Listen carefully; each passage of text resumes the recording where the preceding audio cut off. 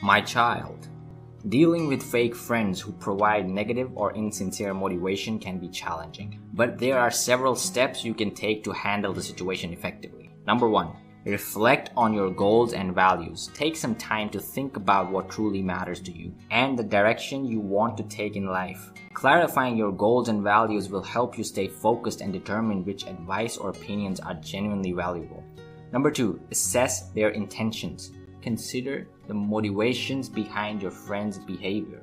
Are they genuinely trying to help you or do they have ulterior motives? Number three, trust your instincts. If you sense that someone's motivation is insincere or undermining, trust your gut instincts.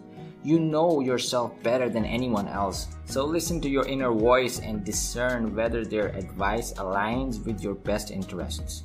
Number four, seek support from genuine friends. Surround yourself with people who genuinely care about your well being and want to see you succeed. Share your concerns with them, and they can offer you positive and constructive advice that uplifts and supports you. Number five, practice self validation.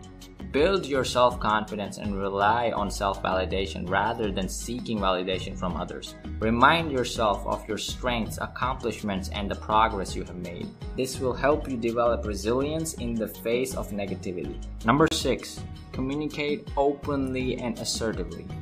If you feel comfortable doing so, address the issue directly with your fake friends. Express your feelings about their behavior and let them know that their motivation is not helpful or appreciated. Be assertive in setting boundaries and making it clear what kind of support you need. Number 7.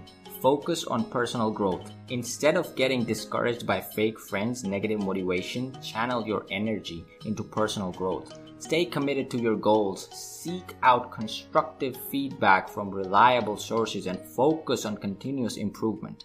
Number 8. Let go if necessary.